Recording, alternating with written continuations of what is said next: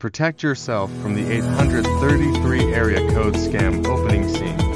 Dramatic music, close up of a ringing phone with 833 displayed. Narrator calm but urgent. Imagine this a call from an 833 area code. It sounds official. Maybe a bank, government agency, or even tech support. But what if it's not? What if it's a scam designed to steal your information? What is the 833 area code? Transition. Bright background with animated numbers like 833, 800, 877 floating in. Narrator informative. The 833 area code is one of North America's toll-free numbers, alongside others like 800, 888, and 877.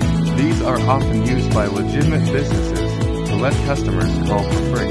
However, scammers exploit this trust to impersonate those same businesses. How the 833 area code scam works. Scene. Visual of a scammer at a computer. Crafting a fake call. Narrator concise. Here's how it works. Fake identity creation. Scammers use an 833 number to appear credible, mimicking banks or government agencies. Urgent communication. Text, or leave messages about urgent issues like unpaid bills or compromised accounts. Phishing trap. When you respond, they request personal or financial details, which they use for fraud or identity theft. How to spot the scam. Scene.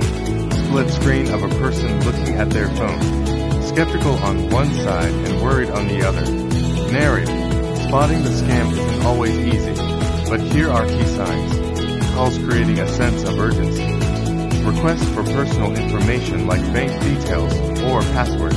Caller ID that looks legit but might be spoofed. Protect yourself See Animated shield forming around the phone. Narrator empowering. Here's how you can stay safe. Don't trust caller ID. Scammers can fake numbers. Verify independently.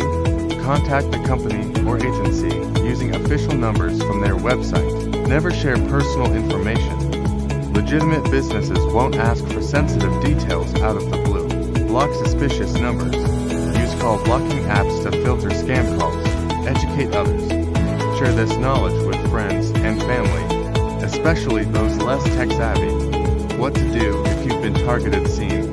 Person on the laptop.